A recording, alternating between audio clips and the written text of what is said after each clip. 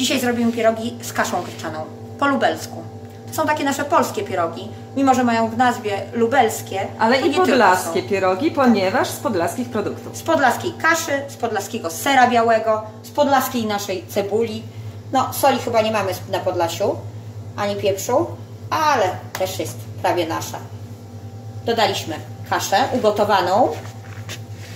Twaróg musi być tłusty, żeby miał smak. A kasza nawet rozgotowana, żeby była bardzo mięciutka i aż klejąca się. Tak, dokładnie, żeby łatwiej było potem nadziewać pierogi. Do tego podsmażyliśmy wcześniej cebulkę posiekaną. Dodajemy cebulkę. Do tego dodajemy odrobinę pieprzu.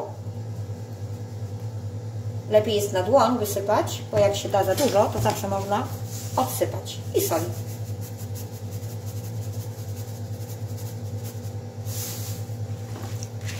Kaszy nie solimy wcześniej.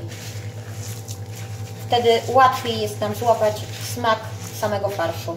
No i zagniatamy go. Oczywiście wszyscy wiedzą, że najlepszym mieszadłem są dłonie. I jak długo zagniatamy? Dotąd aż będzie jednolita masa. Nie, bo kasza nie zrobi się jednolitą masą, ale za to ser roz, y, rozpuści się jakby. I będzie takim wpływem- klejem. I będzie klejem. Pod wpływem dłoni zrobi się taki jednolity i utworzy z kaszy nie sypki farsz, tylko jednolitą masę, którą będzie łatwiej nakładać łyżeczką do pierogów. Ciasto Pani wcześniej przygotowała. W jakich proporcjach?